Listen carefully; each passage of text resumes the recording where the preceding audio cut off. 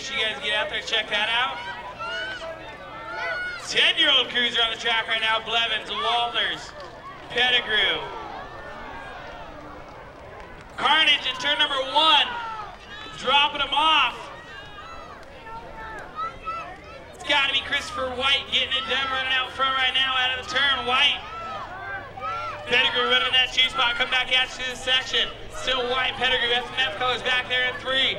In of the last turn, come back at you on last straight. It's still White. White gonna pick up the win.